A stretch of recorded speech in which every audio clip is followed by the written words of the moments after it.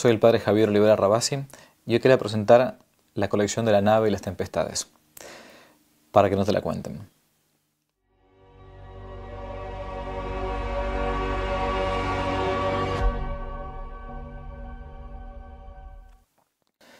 Sabemos que nadie ama lo que no conoce.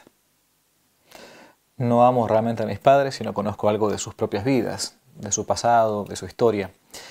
Y algo parecido pasa con la historia de la iglesia, una disciplina poco conocida y muchas veces hasta mm, por momentos que a algunos les pueda parecer hasta como aburrida. Pero no por nada ese gran santo fundador de los salesianos, que fue San Juan Bosco, Don Bosco, planteaba que para sus jóvenes del oratorio, los que él iba poco a poco educando, era indispensable conocer la historia de la iglesia. Y se esmeró, escribiendo incluso él algunas historias de la iglesia, incluso de Italia.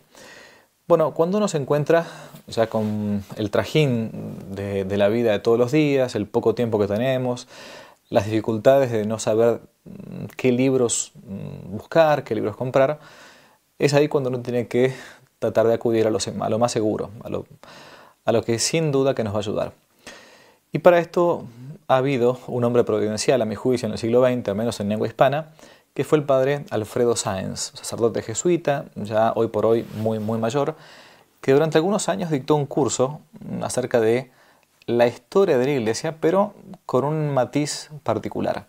Iba explicando la historia de la Santa Madre Iglesia desde el principio de la fundación de nuestro Señor Jesucristo en adelante, a partir de las tempestades, de las crisis, aquello que decía San Agustín, ¿no? que que la iglesia se maneja o va navegando entre los consuelos de Dios y los vaivenes del mundo. Y es esto justamente la nave y las tempestades. Esta colección genial, eh, increíblemente bien escrita, muy sencilla de leer, de resumen, que el padre Alfredo Sáenz fue escribiendo desde prácticamente la fundación de la iglesia, pasando por las persecuciones del Imperio Romano, por la invasión de los bárbaros, la aparición del Islam, eh, la época de las cruzadas, de la Inquisición, la Edad Media, el Renacimiento, la Revolución Francesa. Realmente yo recomiendo enormemente esta obra, una obra de resumen genial, como decíamos, muy fácil de leer, muy sencilla, en tomos pequeños, bien maleables, bien, bien fáciles de, leer incluso para cualquier persona que se encuentran perfectamente adquiribles en, Amazon o en la plataforma de libros en la editorial que no te la cuenten que les presento en este momento. Espero que les sirva realmente, Dios los bendiga y que no te la cuenten.